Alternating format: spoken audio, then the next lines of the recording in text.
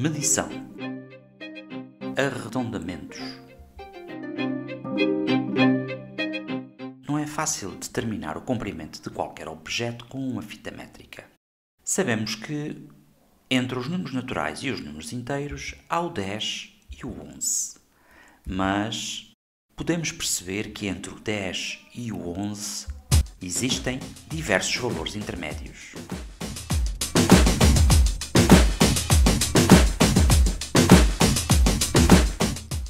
Se aqui se situa o 10, aqui podemos ver que é onde se situam as 10 unidades e uma décima. Aqui, as 10 unidades e duas décimas. E assim sucessivamente.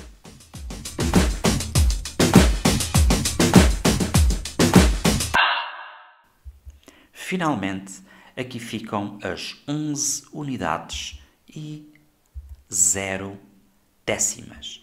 Ou seja, temos um grau de rigor da ordem das décimas.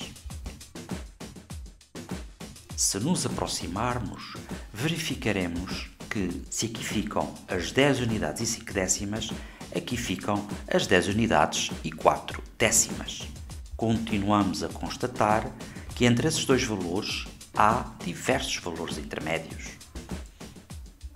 Se aqui se situam as 10 unidades e 4 décimas,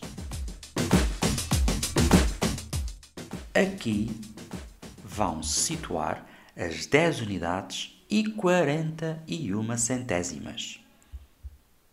Ou seja, temos um grau de rigor da ordem das centésimas. Aqui o 10,42, o 10,43 e assim sucessivamente.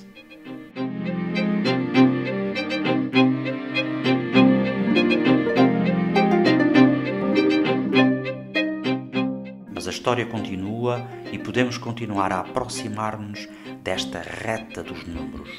E se aqui fica o 10,50, aqui fica o 10,49 e mais uma vez há diversos valores intermédios. Se aqui ficam as 10 unidades e 49 centésimas, para representar este número, precisamos de acrescentar uma casa decimal. 10,491. Temos então um grau de rigor da ordem das milésimas. E a história continua.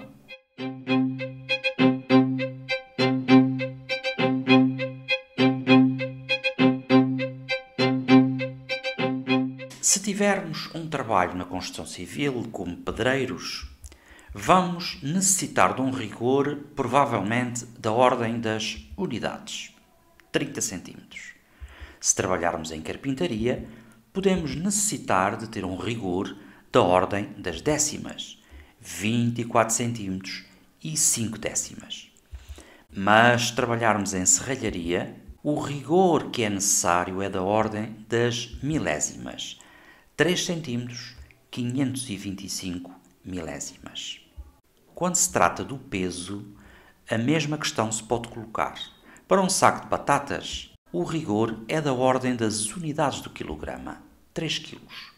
Mas, se lidarmos com medicamentos, o rigor é muito maior da ordem das milésimas do grama, 1 mg e 525 milésimas.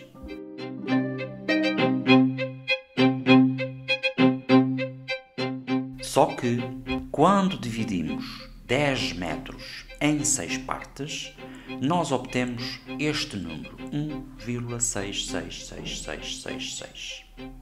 Uma dízima infinita periódica.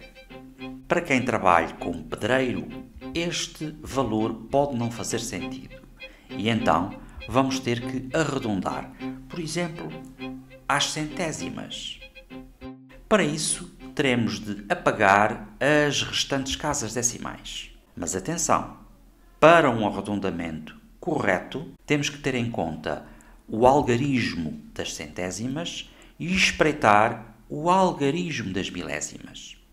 Temos que ter em conta que entre 1 1,66 e 1,67, há diversos valores intermédios. Ora, 1,666 está mais perto de que valor? Mais perto de 1,66 ou mais perto de 1,67?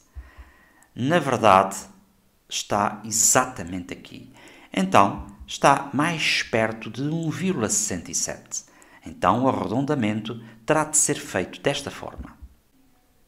Aqui temos este valor devidamente arredondado. Portanto, o número que nós obtemos da divisão de 10 por 6, arredondado às centésimas, será 1 metro e 67 centésimas. Se porventura o algarismo das milésimas fosse 4, então o arredondamento seria diferente e seria uma unidade e 66 centésimas. Vamos tomar nota no nosso caderno diário, arredondamentos, a divisão que nos fez obter 1,666 metros, arredondar às centésimas e aqui está. Num pequeno exercício, vamos tentar arredondar às décimas. Este valor que aqui está, obviamente, que dará 3,4. Continuaria a dar 3,4, mas a partir de 3,45 teríamos de arredondar para 3,5. E assim sucessivamente. Mesmo 3,50 seria arredondado para 3,5 e o 3,51 para 3,5. Se quiséssemos arredondar às unidades, o 3,43 daria 3 unidades.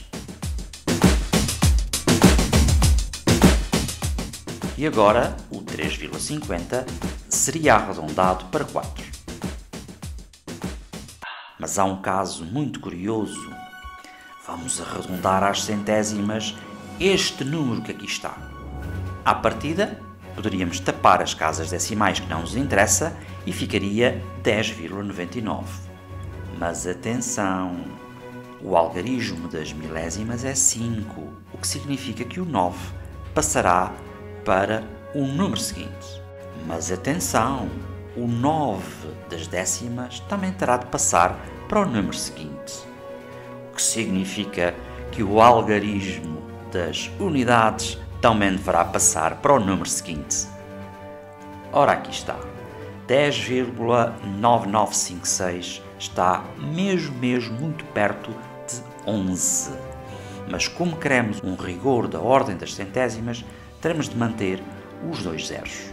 Se porventura o algarismo das milésimas fosse 4, o arredondamento daria algo diferente.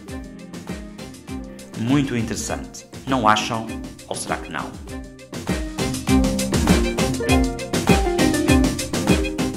Até já!